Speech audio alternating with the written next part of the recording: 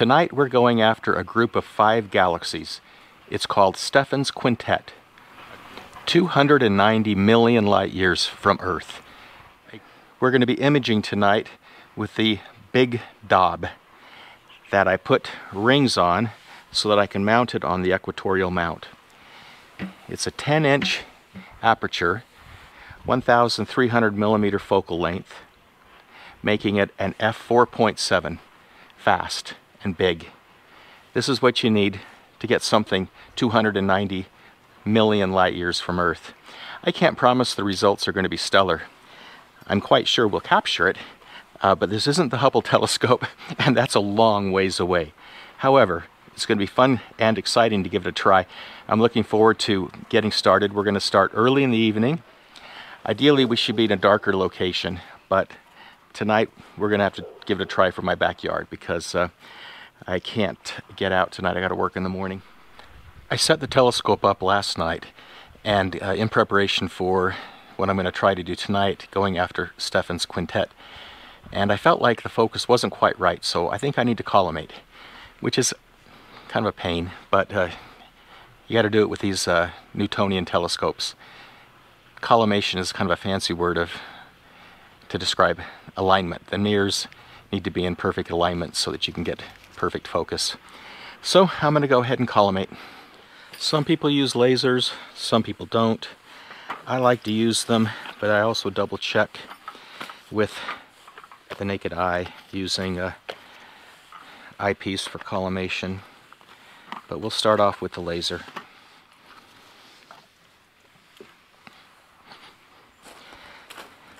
I use a centering adapter so that it's very precise.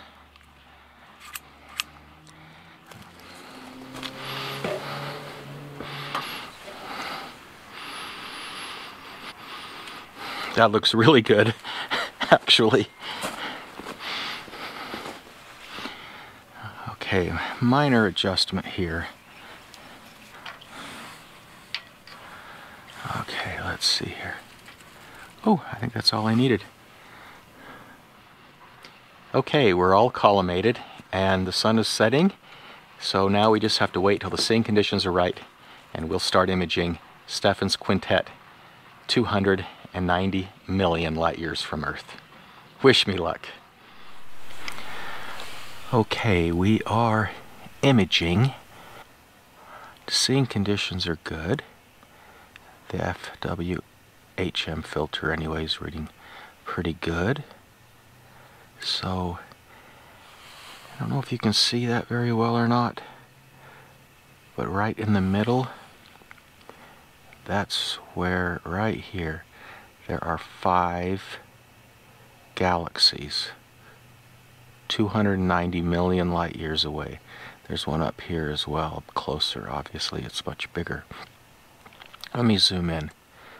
You've got one here, one here, that's two. You got these two that are merging together, three, four, five. There's actually one over there too. Well, I'm pretty excited about the fact that we're capturing a group of galaxies 290 million light years from Earth. So we're just going to let the rig do its thing and we'll keep checking on it. Okay, Shadow, let's go out and check the rig. These are my rock tumblers. That's another video. Okay, come on out, little buddy. Come on. Let's check the rig. Turn off this light. look at this.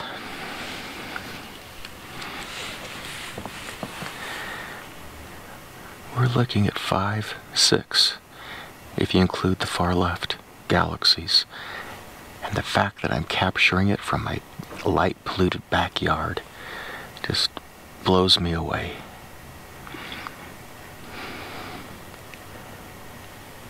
Wow. So we are now at, okay, 114 minutes. All right, we're at 114 minutes. And I'm just going to keep letting the rig do its thing. All right, I've got to go to bed in the morning, so I'm gonna shut this down. This is looking really, really good. Now that's zoomed in at 100%. Okay, we've got the individual files and we've got saved stack files. So I have lots of options.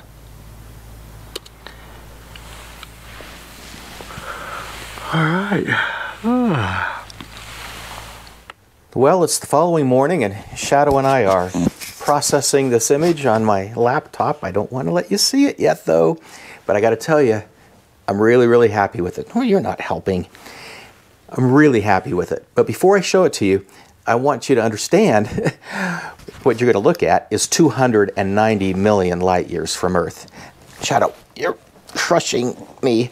290 million light years from Earth. And so, to give you a comparison,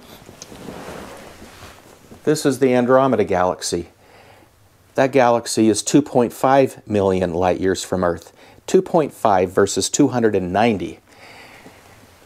This here is the Bode's galaxy on the left and the Cigar galaxy on the right. They are between 11 and 12 million light years from Earth. And so again, 2.5 million light years from Earth, 11 to 12 million light years from Earth. What we're about to look at is 290 million light years from Earth. And so given that, your expectations should be a little lower with regards to detail and so forth. But I'm also really pleased with how it turned out. I'm actually quite amazed. So let's take a look.